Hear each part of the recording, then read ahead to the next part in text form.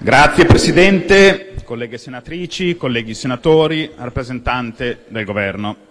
Finalmente il Governo ci sottopone un provvedimento utile e per farlo, motivo del nostro apprezzamento, si è deciso ad adottare un decreto sovranista, la difesa dei nostri confini dalle illecite intrusioni extracomunitarie. Purtroppo stiamo parlando solo dei confini digitali. Per quanto riguarda quelli fisici, siamo ritornati al colabrodo delle frontiere che ben conoscevamo nella precedente legislatura ai tempi dei governi Renzi e Gentiloni. Su questo ci sarebbe molto da dire, ma non è questo l'argomento di oggi e non servirebbe comunque. Le notizie e i numeri degli sbarchi sono sotto gli occhi di tutti gli italiani e loro se li terranno bene in mente quando saranno chiamati a votare alle prossime elezioni regionali, a partire da quella dell'Emilia-Romagna, fino alle prossime elezioni politiche, che speriamo arrivino il prima possibile.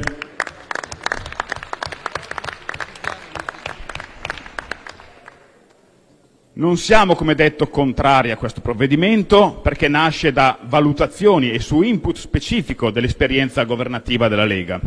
Anche l'intero articolo relativo al Golden Power non è altro che la riproposizione letterale del decreto non convertito la scorsa estate dal Governo Conte 1.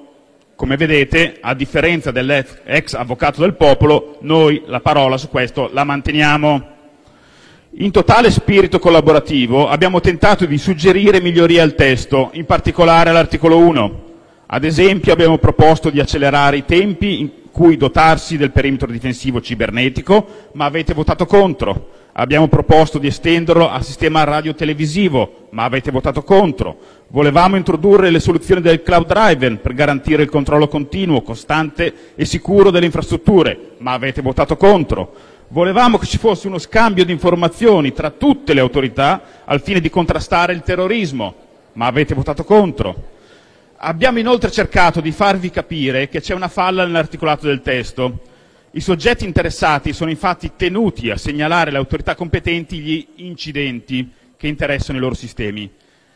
Ebbene, in tutto il decreto non vi è alcuna indicazione di cosa si debba intendere per incidenti. Abbiamo presentato un emendamento per chiarire la questione, ma lo avete respinto e non avete nemmeno accolto il suggerimento di demandare la cosa ad un successivo decreto.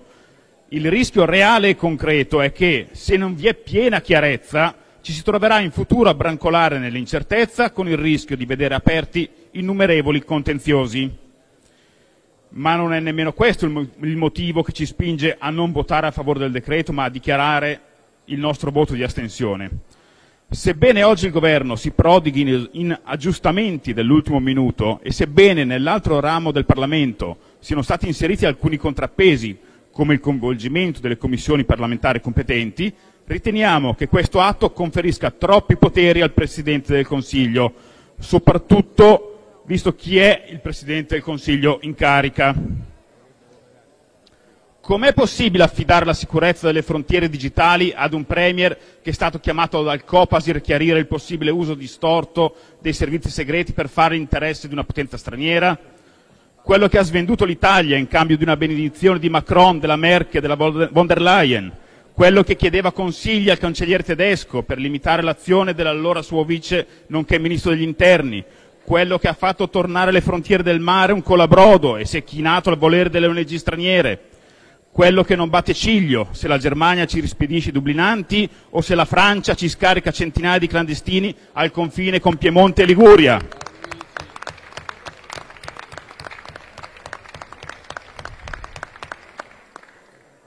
Dico un forte no a lui, io non affiderei nemmeno la difesa del salvadanaio di mio figlio, figuriamoci la, la sicurezza cibernetica dell'intero Paese.